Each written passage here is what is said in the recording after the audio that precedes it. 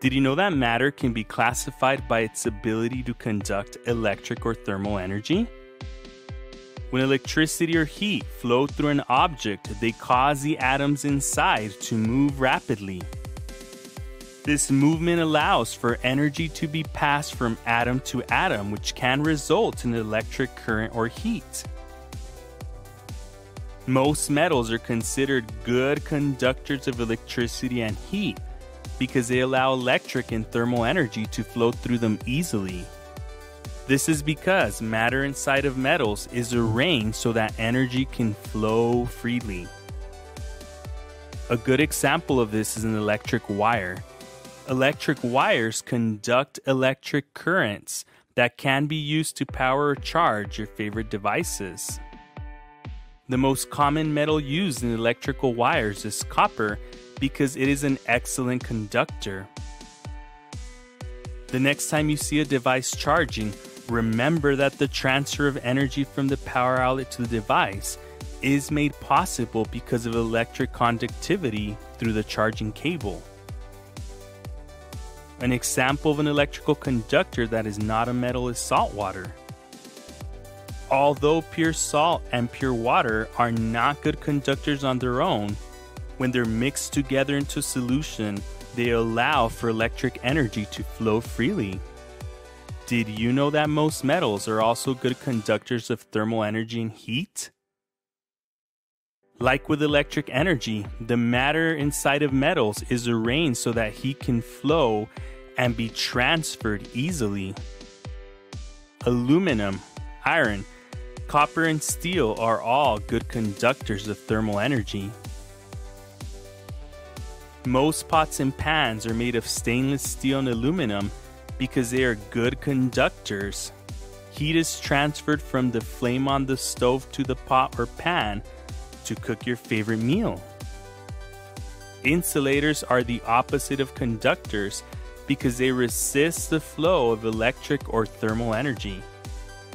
Some electrical insulators include wood, plastic, cardboard, rubber, and glass. They all resist the flow of electric energy.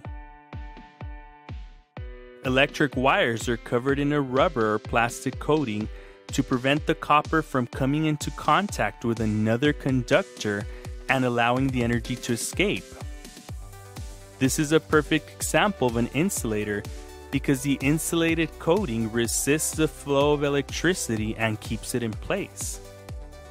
When you grab a wire that is properly coated, the electricity does not flow to you and shock you, and that is a good thing. Insulators also resist the flow of heat because the matter inside is arranged so that heat does not flow easily. When you go to order your favorite hot beverage, it will be handed to you in a styrofoam cup, ceramic mug, or with a cardboard sleeve because they are all great insulators. They trap the heat from the coffee to prevent you from getting burned. That's also why most pots and pans have plastic or wooden handles. The matter inside of the plastic or wood restricts the flow of energy so it does not heat up. This is because when electric or heat energy flows through a conductor, the atoms move quickly and it becomes hot. When energy stops flowing through the conductor, the atoms slow down and it starts to cool down.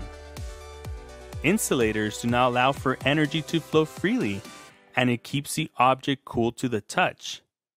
Look at your surroundings for a moment.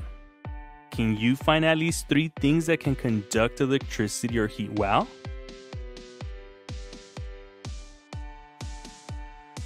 What about two things that can insulate or trap electric or thermal energy?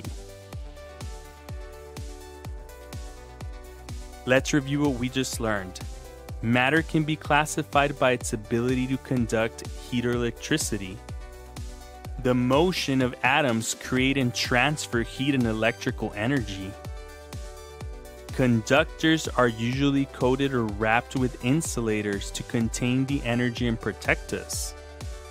Seawater, silver, copper, aluminum, iron, and gold are all good conductors of electricity. Insulators are the opposite of conductors because they resist the flow of electricity or heat. Examples of insulators are plastic, wood, and glass. See you next time.